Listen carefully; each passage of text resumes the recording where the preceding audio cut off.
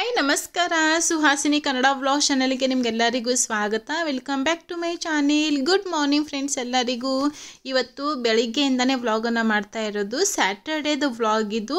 ಬೆಳಿಗ್ಗೆ ಎಲ್ಲರದು ಕೂಡ ತಿಂಡಿ ಆಗಿದೆ. ಸೊ ತಿಂಡಿ ಎತ್ತಲ್ಲ ಆದ ನಂತರ ಇವಾಗ ನಾನು ಈ ಹಣ್ಣನ್ನು ಬಿಡಿಸ್ತಾ ಇರೋದು. ಇದನ್ನು ನಾನು ತೊಗೊಂಡು ಬಂದಿರೋದಲ್ಲ. ನಮ್ಮದು ಪರಿಚಯ ಇರೋರೊಬ್ಬರು ಅಂಕಲ್ ಇದ್ದಾರೆ ಸೊ ಅವರು ತೊಗೊಂಡು ಬಂದು ಕೊಟ್ಟಿದ್ದಾರೆ. ಅವರು ಊರಿಗೆ ಹೋಗಿದ್ರು. ಸೊ ಊರಲ್ಲಿ ಇದು ಹಣ್ಣು ತುಂಬಾ ಚೆನ್ನಾಗಿ ಸಿಗುತ್ತೆ. ಸೊ ಪ್ರತಿ ಸರ್ತಿ ಹೋದಾಗ ಬರಬೇಕಾದ್ರೆ ಅವ್ರು ಹಣ್ಣನ್ನು ತೊಗೊಂಬರ್ತಾರೆ. ಹಾಗೆ ನಮ್ಗೆ ಕೂಡ ಕೊಡ್ತಾ ಇರ್ತಾರೆ. ಆ್ಯಕ್ಚುಲಿ ಅವರು ಪ್ರತಿ ಸರ್ತಿ ನಮಗೆ ಇದನ್ನೆಲ್ಲ ನೀಟಾಗಿ ಬಿಡಿಸ್ಬಿಟ್ಟು ಕೊಡ್ತಾಯಿದ್ರು ಇವಾಗ ಅವರು ಸ್ವಲ್ಪ ಅರ್ಜೆಂಟಲ್ಲಿ ಇದ್ದರು ಸೊ ಹಾಗಾಗಿ ಜಸ್ಟ್ ಬರೀ ಕಟ್ ಮಾಡಿ ಸ್ವಲ್ಪ ಹಾಗೆ ಅದನ್ನೆಲ್ಲ ಕ್ಲೀನ್ ಮಾಡಿ ತೊಗೊಂಡು ಬಂದು ಕೊಟ್ಟಿದ್ದಾರೆ. ನಿಜವಾಗ್ಲೂ ಇದು ಹೇಗೆ ಬಿಡಿಸೋದು, ಏನು ಅಂತ ನನಗೆ ಐಡಿಯಾನೇ ಇಲ್ಲ ಇದು.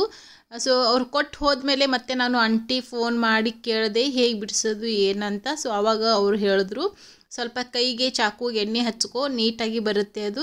ಆಲ್ರೆಡಿ ನಾನೆಲ್ಲ ಕ್ಲೀನ್ ಮಾಡಿ ಕೊಟ್ಟಿದ್ದೀನಿ.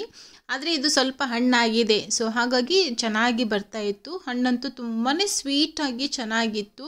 ಸೊ ಇದ್ರದ್ದು ಸುಮಾರು ರೆಸಿಪೀಸ್ ಎಲ್ಲ ಮಾಡ್ತಾರೆ, ಒಬ್ಬಟ್ಟು ಮಾಡ್ತಾರೆ, ಇದು ದೋಸೆ ಕೂಡ ಮಾಡ್ತಾರಂತೆ. ಸೊ ನಿಜವಾಗ್ಲೂ ಅದೇನು ನನಗೆ ಮಾಡೋದಕ್ಕೆ ಬರೋದಿಲ್ಲ. ಜಸ್ಟ್ ಬರೀ ನಾವು ತಿಂತೀವಿ ಅಷ್ಟೇ. ನೋಡಿ, ಎಷ್ಟೊಂದೆಲ್ಲ ಹಣ್ಣು ಬಂದಿದೆ ಅಂತ. ಅದಾದ ನಂತರ ಅವತ್ತಿನ ದಿವಸನೇ ಬೆಳಿಗ್ಗೆ ನಮ್ಮ ಮನೆಗೆ ಒಂದು ಹೊಸ ಗೆಸ್ಟ್ ಬಂತು. ನೋಡಿ ಇದನ್ನೇ. ಇದು ನಮ್ಮದು ಫ್ರೆಂಡ್ ಅವರು ಅವ್ರು ಬೆಳಿಗ್ಗೆ ದೇವಸ್ಥಾನಕ್ಕೆ ಹೋದರು. ಸೊ ಹಾಗಾಗಿ ಒಂದು ದಿವಸಕ್ಕೆ ಅಂತ ಅಂದ್ಬಿಟ್ಟು ಇದನ್ನು ನಮ್ಮ ಮನೆಯಲ್ಲಿ ಬಿಟ್ಟು ಹೋಗಿದ್ದಾರೆ. ಇದು ನನ್ನ ಇಬ್ಬರು ಮಕ್ಕಳಿಗೆ ತುಂಬಾ ಪರಿಚಯ. ಸೊ ದಿನಾನು ಇದ್ರ ಜೊತೆ ಆಟ ಆಡು ಆಟ ಆಡ್ತಾರೆ ಅವರು. ಸೊ ಹಾಗಾಗಿ ಆರಾಮಾಗಿ ನಿಮ್ಮ ಮನೆಯಲ್ಲಿ ಇರುತ್ತೆ ಒಂದು ದಿವಸಕ್ಕೆ ಅಂತ. ನೀ ಬಾ. ತಾನೇ ಆಟ ಆಡ್ತದದು. ನೀ ಬಾ ನೋಡೋಣ ಬಾ ಹ್ಯಾಂಗೆ ಮಾಡ್ತದ ಕಮ್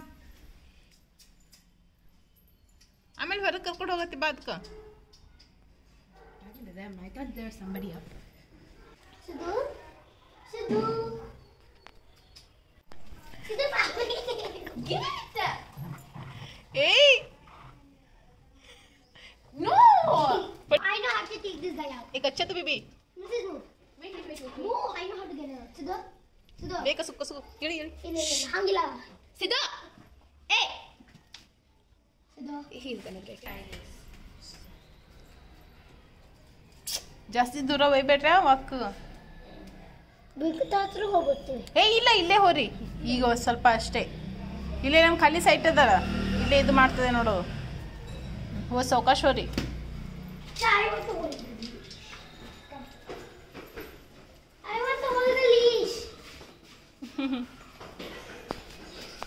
Just ತಿನ್ನಲ್ಲ ಅನ್ನಿಸ್ತದ ಹಾಂ. ವೆಜಿಟೇಬಲ್ಸ್ ಏನು ವೆಜಿಟೇಬಲ್ಸ್ ಹಾಕಬೇಕು ಕ್ಯಾರೆಟ್ ಅದು. ಅದಷ್ಟೇ ಹಾಕತ್ ಹೇಳಿದ್ರು ಆಂಟಿ. ತಿನ್ನಲ್ಲ ಹೇಳು. ಅದಕ್ಕೆ ಹಶುವಾಗಿಲ್ಲ ಮೇ ಬಿ. ಅಷ್ಟೊಂದೆಲ್ಲ ಹಶು ಓಡಾಡ್ಸಿದ್ಯಾ? ಬಿಡು ತಿಂತದ ತಾನೇ ಅದು. ಆಮೇಲೆ ಕ್ಯಾರೆಟ್ ಇತ್ತು ನೋಡೋಣ ಹಾಕನ್. ಹ್ಞೂ ಮುಗೀತಾ? ವಾಕ್ ಮುಗೀತಾ ಸಿದ್ದು Come back. ಹ್ಞೂ ಸರಿ ಕತ್ಲಾ ಹಿಡ್ಕೊ ಹಿಂಗೆ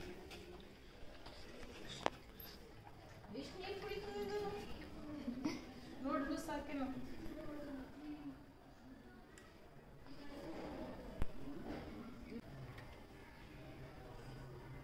ನಾಯಿ ಜೊತೆ ಟೈಮ್ ಸ್ಪೆಂಡ್ ಮಾಡೋ ಇವಾಗ ಮಧ್ಯಾಹ್ನಕ್ಕೆ ಅಡುಗೆ ರೆಡಿ ಮಾಡ್ತಾ ಇದ್ದೀನಿ. ಹಾಗೆ ಬೆಳಿಗ್ಗೆನೆ ನಮ್ಮ ಮನೆಯವರು ಹೊರಗಡೆ ಸ್ವಲ್ಪ ಕೆಲಸ ಇದೆ ಅಂತ ಹೋಗಿದ್ರು. ಹಾಗೆ ಬರಬೇಕಾದ್ರೆ ನಾನು ಅವರಿಗೆ ಹೇಳಿದ್ದೆ, ಸ್ವಲ್ಪ ತರಕಾರಿನ ತೊಗೊಂಬನ್ನಿ ಅಂತ. ಹಾಗೆ ಅದ್ರ ಜೊತೆ ಮಾವಿನಕಾಯಿನೂ ತೊಗೊಂಡು ಬಂದಿದ್ರು. ಚೆನ್ನಾಗಿ ಫ್ರೆಶ್ ಆಗಿತ್ತಂತೆ. ಸರಿ, ಇವತ್ತು ಮಧ್ಯಾಹ್ನ ಊಟಕ್ಕೆ ಮಾವಿನಕಾಯಿ ರಸ ಮಾಡಂತ ಹೇಳಿದ್ರು. ನಾರ್ಮಲಿ ಅವರು ಆ ಥರ ಎಲ್ಲ ಹೇಳೋದಿಲ್ಲ. ಸೊ ಏನು ಅಡುಗೆ ಮಾಡಿರ್ತೀನಿ, ಅದನ್ನೇ ತಿಂತಾರೆ ಅವರು. ನನಗೆ ಇದನ್ನೇ ಬೇಕು, ಅದನ್ನೇ ಬೇಕು ಅಂತ ಆ ಥರ ಅವರು ಹೇಳೋದು ತುಂಬಾ ಕಡಿಮೆ. ಸೊ ಇವತ್ತು ಯಾಕೋ ಅವ್ರು ಹೇಳಿದ್ರು ನನಗೆ, ಸರಿ ಅಂತ ಅಂದ್ಬಿಟ್ಟು ನಾನು ಮಾವಿನಕಾಯಿ ರಸ ಬೇಗನೆ ಮಾಡಿಬಿಟ್ಟು, ಫ್ರಿಜ್ಜಲ್ಲಿ ಇಡೋಣ ಊಟ ಟೈಮ್ ಅನ್ನೋಷ್ಟರಲ್ಲಿ ಅದು ತಣ್ಣಗಾಗುತ್ತೆ ಸ್ವಲ್ಪ ಆವಾಗ ಇನ್ನೂ ತಿನ್ನೋದಕ್ಕೆ ಟೇಸ್ಟಿಯಾಗಿರುತ್ತೆ ಅಂತ ಅಂದ್ಬಿಟ್ಟು ನಾನು ಸ್ವಲ್ಪ ಬೇಗನೆ ಮಾವಿನಕಾಯಿ ರಸನ ಇವಾಗ ಮಾಡಿಬಿಟ್ಟು ಫ್ರಿಜ್ಜಲ್ಲಿ ಇಡ್ತಾ ಇದ್ದೀನಿ. ಏನಿಲ್ಲ, ಇದಕ್ಕೆ ಜಸ್ಟ್ ಸ್ವಲ್ಪ ಸಕ್ಕರೆ ಹಾಕ್ಕೊಂಡಿದ್ದೀನಿ ಸ್ವಲ್ಪ ಹುಳಿ ಇತ್ತು ಮಾವಿನಕಾಯಿ, ಅಷ್ಟೊಂದೇನು ಹುಳಿ ಇಲ್ಲ ಮೀಡಿಯಮ್ ಹುಳಿ ಇತ್ತು. ಸೊ ಹಾಗಾಗಿ ಒಂದು ಮೂರಿಂದ ನಾಲ್ಕು ಟೀ ಸ್ಪೂನಷ್ಟು ಸಕ್ಕರೆ, ಏಲಕ್ಕಿ ಪುಡಿ, ಒಂದೇ ಒಂದು ಚುಟಿಕೆಯಷ್ಟು ಉಪ್ಪು ಮತ್ತು ಒಂದು ಸ್ವಲ್ಪ ನೀರನ್ನು ಹಾಕ್ಕೊಂಡ್ಬಿಟ್ಟು ಇದನ್ನು ರುಬ್ಕೋತಾ ಇದ್ದೀನಿ. ಇದಕ್ಕೆ ಕೆಲವೊಬ್ಬರು ಹಾಲು ಹಾಕೋತಾರೆ ಮತ್ತು ತೆಂಗಿನ ಹಾಲು ಕೂಡ ಹಾಕ್ಕೋತಾರೆ. ಸೊ ನಾನು ನಾರ್ಮಲ್ ನೀರನ್ನು ಹಾಕಿಬಿಟ್ಟು ಇವಾಗ ಫ್ರಿಜ್ಜಲ್ಲಿ ಎತ್ತಿಡ್ತಾ ಇದ್ದೀನಿ. ಆಮೇಲೆ ಚಪಾತಿ, ಪಲ್ಯ, ಮತ್ತು ಬೇಳೆ ಸಾರು ಅನ್ನ ಮಾಡಿದ್ದೆ. ಹಾಗೆ ನಾಯಿಗೂ ಕೂಡ ಸೆಪ್ರೇಟಾಗಿ ಮಾಡಿದ್ದೆ ನಾನು. ಅದಕ್ಕೆ ಉಪ್ಪೆತ್ತೇನು ಹಾಕದೇನೆ ಹಾಗೆ ಸಪ್ಪೆ ಊಟ ಕೊಡಬೇಕಂತೆ ಅದಕ್ಕೆ. ಮತ್ತೆ ಅದಕ್ಕೆ ಅಂತ ಹೇಳಿಬಿಟ್ಟು ಸೆಪ್ರೇಟಾಗಿ ಚಪಾತಿ, ಉಪ್ಪಿಲ್ದು ಚಪಾತಿ, ಮತ್ತೆ ಸ್ವಲ್ಪ ದಾಲ್, ಹಾಗೆ ಕ್ಯಾರೆಟ್ ಕುಕುಂಬರ್ ಈ ಥರ ಎಲ್ಲ ಮೇಲುಗಡೆ ಹಾಕಿಬಿಟ್ಟು ಕೊಟ್ಟಿದ್ದೆ. ಚೆನ್ನಾಗಿ ತಿನ್ಕೋತು. ಇವಾಗ ಮಧ್ಯಾಹ್ನಕ್ಕೆ ಸ್ವಲ್ಪ ಫ್ರೀ ಟೈಮ್ ಸಿಕ್ಕಿದೆ. ಅದಕ್ಕೆ ನಾನು ಇವತ್ತು ಸಾರಿ ಕುಚ್ ಹಾಕೋಣ ಅಂತ ಪ್ಲ್ಯಾನ್ ಮಾಡ್ಕೊಂಡಿದ್ದೀನಿ. ಇದು ಬಂದ್ಬಿಟ್ಟು ಅಮ್ಮನ ಸೀರೆ. ನೀವು ಆಲ್ರೆಡಿ ನೋಡಿರ್ತೀರ ಲಾಸ್ಟ್ ವಿಡಿಯೋಲಿ ತೋರಿಸಿದೆ ನಾನು.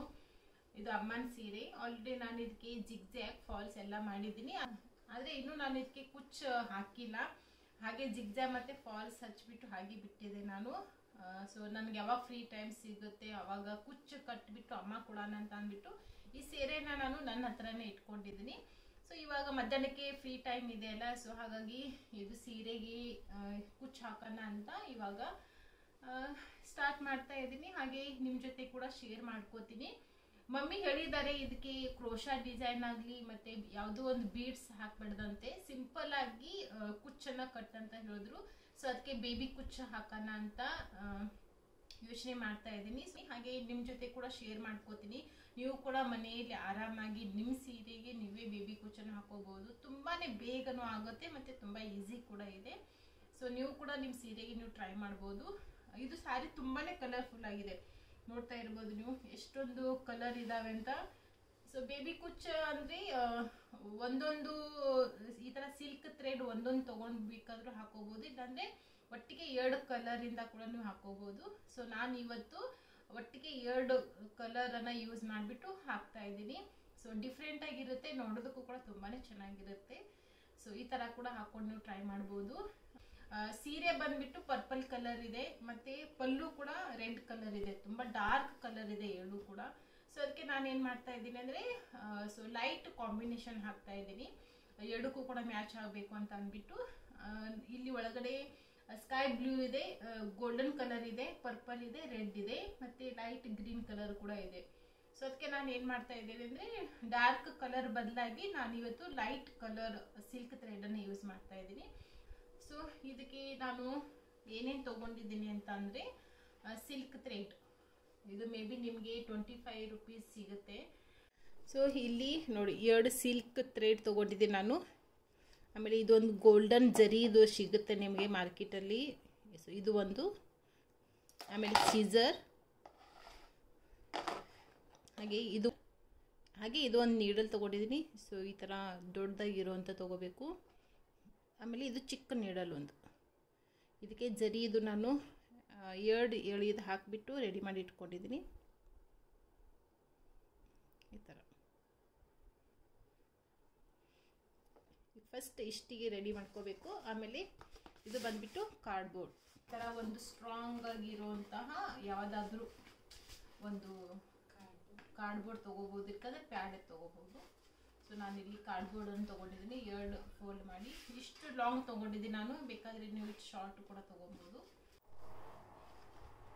ಇವಾಗ ನಾನು ಫಸ್ಟಿಗೆ ಇಲ್ಲಿ ಗ್ರೀನ್ ಸಿಲ್ಕ್ ಥ್ರೆಡ್ ತೊಗೊಂಡಿದ್ದೀನಿ. ಇವಾಗ ಇದನ್ನ ಇದಕ್ಕೆ ಸುತ್ಕೋತೀನಿ. ಮಿನಿಮಮ್ ಟೂ ಫಿಫ್ಟಿ ಎಳೆ ಆದರೂ ಇರಬೇಕು. ಸೊ ನಾನು ಏನು ಮಾಡ್ತಾ ಇದ್ದೀನಿ ಅಂದರೆ ಇದು ಹಂಡ್ರೆಡ್ ಎಳೆ ಸುತ್ಕೋತೀನಿ. ಇದು ಹಂಡ್ರೆಡ್ ಎಳೆ ಸುತ್ಕೋತೀನಿ. ನೋಡಿ, ಈ ಥರ ಟೈಟಾಗಿ ಹಿಡ್ಕೊಂಡು ಈ ಥರ hundred ಸುತ್ಕೋಬೇಕು. Three five five six hundred ನೋಡಿ. ನಾನಿಲ್ಲಿ ಹಂಡ್ರೆಡ್ ಥ್ರೆಡ್ ಸುತ್ತಕೊಂಡಿದ್ದಾಗಿದೆ. ಇವಾಗ ಎಂಡಿಗೆ ಇಲ್ಲಿ ನಾನು ಹೋಲ್ಡ್ ಮಾಡ್ತಾ ಇದ್ದೀನಿ. ಸೊ ಇಲ್ಲಿಗೆ ನಾನು ಹೋಲ್ಡ್ ಮಾಡಿ ಈ ಥರ ಹಿಡಿತಾ ಇದ್ದೀನಿ. ಸೊ ಗ್ರೀನ್ ಥ್ರೆಡ್ ಕಂಪ್ಲೀಟ್ ಆಯಿತು.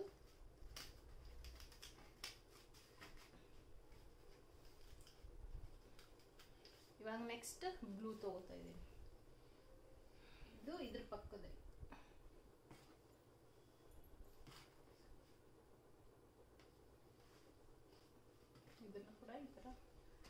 ಗೋಲ್ ಮಾಡಿಬಿಟ್ಟು ಇವಾಗ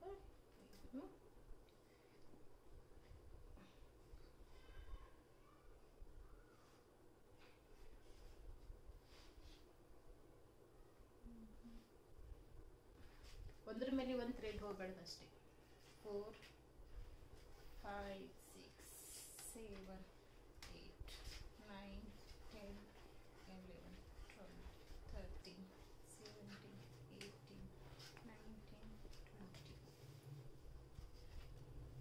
so ನೋಡಿ, ಈ ಥರ ಗ್ರೀನ್ ಥ್ರೆಡನ್ನು ಈ ಕಡೆ ಸುತ್ಕೊಂಡಿದ್ನಿ ಮತ್ತು ಬ್ಲೂ ಬಂದುಬಿಟ್ಟು ಈ ಕಡೆ ಸುತ್ಕೊಂಡಿದ್ನಿ ಎರಡು ಒಂದ್ರ ಮೇಲೆ ಒಂದು ಬರಬಾರ್ದು. ಸ್ವಲ್ಪ ಗ್ಯಾಪಲ್ಲಿನೇ ಸುತ್ಕೋಬೇಕು ನೀವು. ನೋಡಿ, ಇವಾಗ ನಾನು ಟ್ವೆಂಟಿ ಸುತ್ಕೊಂಡಿದ್ದೀನಿ ಇನ್ನೂ ಏಯ್ಟಿ ಥ್ರೆಡ್ ನಾನು ಸುತ್ಕೋತೀನಿ ಇಷ್ಟು ಗ್ಯಾಪಲ್ಲಿನೂ ಸುತ್ಕೋತಾ ಹೋಗಬೇಕು. Total hundred green hundred blue hundred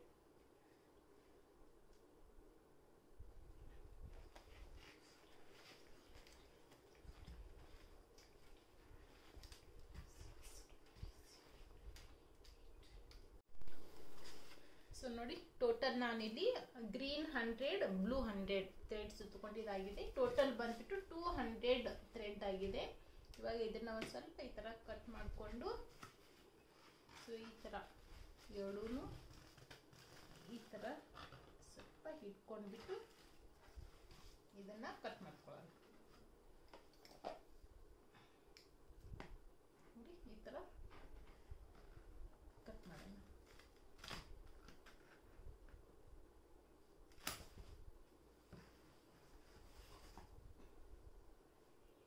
ನೋಡಿ ಟೋಟಲ್ ನಮ್ಮದು ಇದು ಹಂಡ್ರೆಡ್ ಇದು ಹಂಡ್ರೆಡ್ ಟೂ ಹಂಡ್ರೆಡ್ ಆಗಿದೆ. ಸೊ ಇದು ಮಿಕ್ಸ್ ಮಾಡಂಗಿಲ್ಲ ನೀವು ಥ್ರೆಡ್ ಸೆಪ್ರೇಟಾಗಿ ಹಾಗೇನೆ ಇರಬೇಕು. ಒಂದು ಸೈಡ್ ಗ್ರೀನ್ ಒಂದು ಸೈಡ್ ಬ್ಲೂ ಈ ಥರ ಸೆಪ್ರೇಟಾಗಿನೇ ಈ ಥ್ರೆಡನ್ನು ಇಟ್ಕೊಂಡು. ಇವಾಗ ಈ ಅಷ್ಟು ಥ್ರೆಡ್ ಏನಿದೆ, ಇದು ಸೂಜಿ ಒಳಗಡೆ ಹಾಕೋಬೇಕು ಇವಾಗ.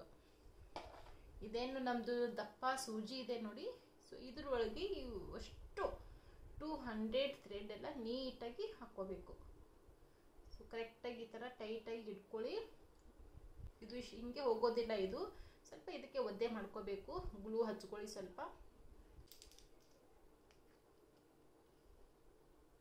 ಸ್ವಲ್ಪ ಇಷ್ಟೇ ಲೈಟಾಗಿ ಈ ಥರ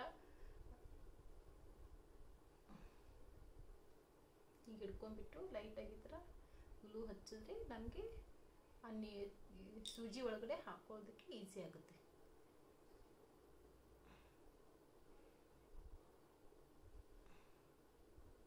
ನೋಡಿ, ಈ ಥರ ಸ್ವಲ್ಪ ಸ್ಟ್ರೇಟಾಗಿ ಮಾಡ್ಕೊಂಡ್ಬಿಟ್ಟು ಈ ಥರ ಗ್ಲೂ ಹಚ್ಚಿದ್ರೆ ಈಸಿಯಾಗಿ ನಿಮಗೆ ಈ ಥರ ಸೂಜಿ ಒಳಗಡೆ ಹೋಗುತ್ತೆ ಅದು.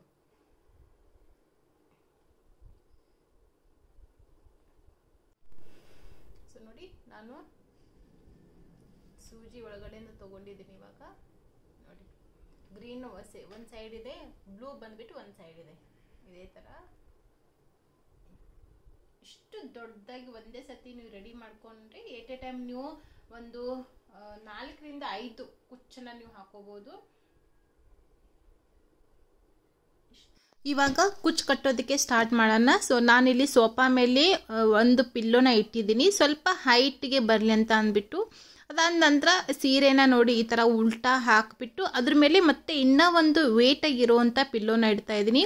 ಮೇಲ್ಗಡೆದು ಸ್ವಲ್ಪ ವೇಟ್ ಪಿಲ್ಲೋನ ಇಟ್ಕೊಳ್ಳಿ. ಯಾಕಂದರೆ ನಾವು ಈ ಥರ ದಾರ ಎಳಿಬೇಕಾದ್ರೆ ಸೀರೆ ಬೀಳಬಾರ್ದು ಅಂತ ಅಂದ್ಬಿಟ್ಟು ಸ್ವಲ್ಪ ವೇಟಾಗಿ ಪಿಲ್ಲೋನ ಇಟ್ಕೊಂಡ್ಬಿಟ್ಟು ಬನ್ನಿ, ಇವಾಗ ಕುಚ್ಚು ಕಟ್ಟೋದಕ್ಕೆ ಸ್ಟಾರ್ಟ್ ಮಾಡೋಣ. ಸೊ ಫಸ್ಟಿಗೆ ನಾನು ಒಂದೂವರೆ ಇಂಚ್ ಮೆಜರ್ಮೆಂಟ್ ಮಾಡ್ಕೊಂಡಿದ್ದೀನಿ. ಸೊ ಲೈಟಾಗಿ ಪೆನ್ಸಿಲಿಂದ ಮಾರ್ಕ್ ಮಾಡ್ಕೊಂಡ್ಬಿಟ್ಟು ಇವಾಗ ಸ್ಟಾರ್ಟ್ ಮಾಡ್ತಾ ಇದ್ದೀನಿ. ಆಲ್ರೆಡಿ ನಾನು ಒಂದು ಐದಾರು ಕುಚ್ಚನ್ನು ಹಾಕಿದ್ದೀನಿ. ಸೊ ನೆಕ್ಸ್ಟ್ ಇವಾಗ ಮುಂದುಗಡೆದು ಕಂಟಿನ್ಯೂ ಮಾಡ್ತಾ ಇದ್ದೀನಿ ಅಷ್ಟೇ. ನೋಡಿ ಫಸ್ಟ್ ಹಾಕಿರುವಂಥ ಕುಚ್ಚಿದು. ಸೀರೆನ ಈ ಥರ ಉಲ್ಟಾ ಹಾಕಿಬಿಟ್ಟು ಸೂಜಿನ ನೀವು ತಳಗಡೆಯಿಂದ ಮೇಲಿಗೆ ಎಳಿಬೇಕು. ಈ ಥರ ಎಳಿಬೇಕಾದ್ರೆ ಸ್ವಲ್ಪ ಅದು ನಿಮಗೆ ಕಷ್ಟ ಅನಿಸುತ್ತೆ. ಯಾಕಂದರೆ ನಾವು ಎರಡೂ ಥ್ರೆಡನ್ನು ಒಟ್ಟಿಗೆ ಒಂದೇ ಸೂಜಿಯಲ್ಲಿ ಹಾಕಿದ್ದೀವಿ. ಸೊ ಅಲ್ಲಿ ದಪ್ಪ ಆಗಿರೋದ್ರಿಂದ ಸ್ವಲ್ಪ ನಿಮಗೆ ಎಳೆಯೋದಕ್ಕೆ ಕಷ್ಟ ಆಗುತ್ತೆ ಅದು. ಸೊ ನಿಧಾನಕ್ಕೆ ನೀವು ಈ ಥರ ಎಳೆದ್ರೆ ಅದು ಈಸಿಯಾಗಿ ಬರುತ್ತೆ. ಆಮೇಲೆ ಈ ಥರ ಎಜ್ಜಿಗೆ ಬಂದಾಗ ಸ್ವಲ್ಪ ಥ್ರೆಡ್ಡನ್ನು ಜಾಸ್ತಿ ಬಿಟ್ಕೊಳ್ಳಿ. ಯಾಕಂದರೆ ತಳಗಡೆ ಎಜ್ಜೆಸ್ ಏನಿದೆ ದಾರದ್ದು, ಅದು ಸ್ವಲ್ಪ ಹೆಚ್ಚು ಕಡಿಮೆ ಬಂದಿರುತ್ತೆ. ಸೊ ಕಟ್ ಮಾಡೋವಾಗ ನಾವು ಅದನ್ನು ನೀಟಾಗಿ ಮಾಡ್ಕೋಬೇಕು. ಹಾಗಾಗಿ ಸ್ವಲ್ಪ ದಾರಾನ ಜಾಸ್ತಿ ಬಿಟ್ಕೊಂಡ್ಬಿಟ್ಟು ಮೇಲೆದು ಮತ್ತು ತಳಗಡೆದು ಎರಡು ದಾರನ ಟೈಟಾಗಿ ಹಿಡ್ಕೊಂಡು, ಇವಾಗ ನಾವು ಗೋಲ್ಡನ್ ಥ್ರೆಡ್ ಏನು ಸೂಜಿನ ರೆಡಿ ಮಾಡಿ ಇಟ್ಕೊಂಡಿದ್ದೀವಿ ಅದನ್ನು ಎರಡರಿಂದ, ಎರಡು ಮಧ್ಯದಿಂದ ಈ ಥರ ಒಳಗಡೆ ಹಾಕಿಬಿಟ್ಟು ಸ್ಟಾರ್ಟಿಂಗಲ್ಲಿ ನಾನಿಲ್ಲಿ ಟೈಟಾಗಿ ಮೂರು ಸುತ್ತನ ಸುತ್ಕೋತಾ ಇದ್ದೀನಿ. ಮೂರು ಸುತ್ತಾದರೂ ಸುತ್ಕೋಬೋದು, ಇಲ್ಲಾಂದರೆ ನಾಲ್ಕು, ಐದು. ನಿಮಗೆ ಇದು ಕುಚ್ಚು ಎಷ್ಟು ಟೈಟ್ ಬೇಕು ನೋಡ್ಕೊಂಡ್ಬಿಟ್ಟು ನೀವು ಅದನ್ನು ಸುತ್ಕೊಳ್ಳಿ. ನಾನಿಲ್ಲಿ ಬರೀ ಮೂರು ಸುತ್ತನ್ನು ಸುತ್ಕೊಂಡ್ಬಿಟ್ಟು ಈ ಥರ ಟೈಟಾಗಿ ಒಂದು ಕೈಯಿಂದ ಹಿಡಿದು, ಇವಾಗ ಅನ್ನೋದು ಏನು ಗೋಲ್ಡನ್ ಥ್ರೆಡ್ ಸುತ್ತಿದ್ದೀವಿ ಅದ್ರ ಮಧ್ಯದಿಂದ ಈ ಥರ ಸೂಜಿನ ಹಾಕಿ ಇವಾಗ ಇದಕ್ಕೆ ಲಾಕ್ ಮಾಡ್ಕೋತಾ ಇದ್ದೀವಿ. ಎರಡು ಸರ್ತಿ ಲಾಕ್ ಮಾಡ್ಕೊಳ್ಳಿ, ಚೆನ್ನಾಗಿ ಟೈಟಾಗಿ ಲಾಕ್ ಆಗುತ್ತೆ ಅದು. ನೋಡಿ, ಒಂದು ಸರ್ತಿ ಲಾಕ್ ಮಾಡ್ಕೊಂಡಿದ್ದಾಯಿತು. ಮತ್ತು ನಾನು ಇನ್ನೂ ಒಂದು ಸರ್ತಿ ಲಾಕ್ ಮಾಡ್ಕೋತಾ ಇದ್ದೀನಿ. ಈ ಥರ ಎರಡು ಸರ್ತಿ ಲಾಕ್ ಮಾಡ್ಕೊಂಡಾದಮೇಲೆ ಮತ್ತೆ ನಾನು ಇನ್ನೂ ಒಂದು ಎರಡು ಸುತ್ತನ್ನು ಸುತ್ಕೋತೀನಿ. ಸೊ ಆವಾಗ ಅದು ಗೋಲ್ಡನ್ ಥ್ರೆಡ್ ಸೈಜ್ ಕೂಡ ನಿಮಗೆ ದಪ್ಪ ಬರುತ್ತೆ, ನೋಡೋದಕ್ಕೂ ಕೂಡ ಚೆನ್ನಾಗಿರುತ್ತೆ. ಸೊ ಆಮೇಲೆ ಮತ್ತೆ ಇನ್ನೂ ಒಂದು ಎರಡು ಸರ್ತಿ ನಾನು ಲಾಕ್ ಮಾಡ್ಕೋತಾ ಇದ್ದೀನಿ. ಸೊ ಟೋಟಲ್ ಈ ಥರ ನಾಲ್ ನಾಲ್ಕೈದು ಸರ್ತಿ ನೀವು ಚೆನ್ನಾಗಿ ಇದನ್ನು ಲಾಕ್ ಮಾಡ್ಕೊಂಡು ಬಿಟ್ರಿ ಸೊ ಇದು ನಿಮಗೆ ಟೈಟಾಗಿ ಕುತ್ಕೊಳ್ಳುತ್ತೆ. ನಾನು ಇದನ್ನು ಈಸಿ ಮೆಥಡಲ್ಲಿ ನಿಮಗೆ ತೋರಿಸ್ತಾ ಇದ್ದೀನಿ. ಇದಕ್ಕಿಂತ ನಿಮಗೆ ಈಸಿ ಮೆಥಡ್ ಗೊತ್ತಿದ್ರೆ ನೀವು ಆ ಮೆಥಡಲ್ಲಿ ಕೂಡ ಹಾಕೋಬಹುದು ನೋಡಿ, ಈ ಥರ ನಾನು ಒಂದು ಮೂರರಿಂದ ನಾಲ್ಕು ಸರ್ತಿ ಚೆನ್ನಾಗಿ ಇದನ್ನು ಲಾಕ್ ಮಾಡ್ಕೊಂಡಿದ್ದೀನಿ. ಇವಾಗ ಕಟ್ ಮಾಡಬೇಕಾದ್ರೂ ಕೂಡ ಅಷ್ಟೇ, ನೀವು ಗೋಲ್ಡನ್ ಥ್ರೆಡ್ ಏನಿದೆ, ಅದು ಸಿಲ್ಕ್ ಥ್ರೆಡ್ ಸೈಜಿಗೆ ಕಟ್ ಮಾಡ್ಕೊಳ್ಳಿ. ಅಂದರೆ ಅದು ಚೆನ್ನಾಗಿ ಟೈಟಾಗಿ ಕುತ್ಕೊಳ್ಳುತ್ತೆ. ಸೇಮ್ ಇದೇ ಥರ ನೀವು ಲಾಸ್ಟ್ವರೆಗೂ ಇದೇ ಕಂಟಿನ್ಯೂ ಮಾಡ್ಬೋದು. ನಾನಿಲ್ಲಿ ಪ್ಲೇನಾಗಿ ಹಾಕಿದ್ದೀನಿ ಇದಕ್ಕೆ ಬೀಡ್ಸ್ ಏನೂ ಹಾಕಿಲ್ಲ. ಬೇಕಾದರೆ ನಿಮಗೆ ಬೀಡ್ಸ್ ಹಾಕೋದಿದ್ರೆ ನೀವು ಈ ಥರ ಫಸ್ಟಿಗೆ ಒಂದು ಬೀಡ್ಸ್ ಹಾಕಿಬಿಟ್ಟು ದಾರಾನ ಎಳ್ಕೊಬೋದು. ಸೇಮ್ ಅದು ಕೂಡ ಇದೇ ಮೆಥಡಲ್ಲಿನೇ ಬರುತ್ತೆ.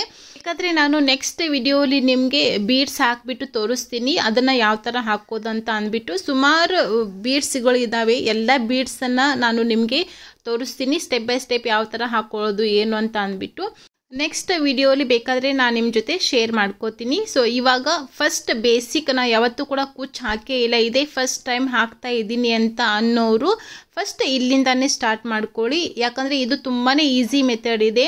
ಸೊ ಇದು ನಿಮಗೆ ಕುಚ್ಚು ಪರ್ಫೆಕ್ಟಾಗಿ ಬಂದರೆ ಸೊ ನಿಮ್ಮದು ಫಿನಿಶಿಂಗ್ ತುಂಬಾ ಚೆನ್ನಾಗಿ ಬರುತ್ತೆ. ಮಧ್ಯಾಹ್ನ ಫ್ರೀ ಟೈಮ್ ಸಿಕ್ಕಾಗ ನೀವು ಮನೆಯಲ್ಲಿನೇ ಆರಾಮಾಗಿ ಈ ಥರ ನಿಮ್ಮದು ಸೀರೆಗಳಿಗೆ ನೀವೇನೇ ಕುಚ್ಚನ್ನು ಹಾಕೋಬೋದು ತುಂಬಾ ಈಸಿ ಇದೆ. ಸೊ ಒಂದು ದಿವಸಕ್ಕೆ ಆರಾಮಾಗಿ ನೀವು ಒಂದು ಸೀರೆನ ಕಂಪ್ಲೀಟ್ ಮಾಡ್ಕೋಬೋದು.